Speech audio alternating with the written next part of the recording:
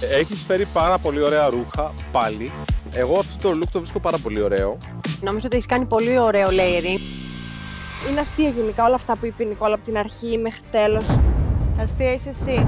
Πόσο φίδι είσαι εδώ μέσα.